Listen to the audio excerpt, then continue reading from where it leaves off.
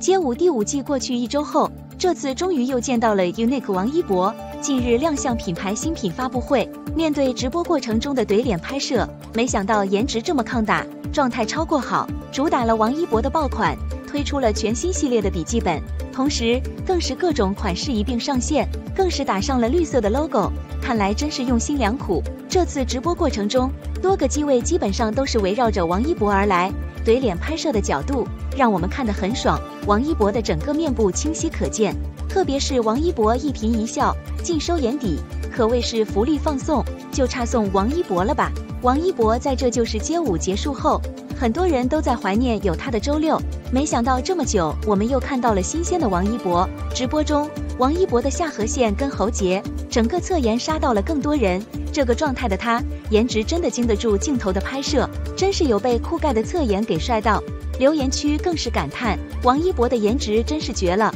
还有他各种小表情、小动作都拍摄到了，让人大呼过瘾。这是看到最立体高清状态下的王一博了吧？这次活动，王一博的状态很不错，看来休整状态下，整个人是放松的，更是一种回归生活后的休闲与放松。街舞跟拍戏过程中，王一博整个人应该是忙碌的，要兼顾拍摄跟练舞，整个人还是相对比较疲惫的。这次在拍摄完热烈后，王一博一直没有进组，更多的是练习街舞，还有一些代言的物料拍摄，所以这次我们并没有太多看到他的各种讯息。虽然王一博的电影《长空之王》改档上映，但是并不妨碍一点。那就是王一博之后的资源依旧是主攻电影市场。王一博的后续发展路线很清晰，并没有网上传闻的各种热饼用的资源，所以各位看到他会接什么电视剧、古偶剧的讯息，不过是借他的热度来招商炒作而已。王一博。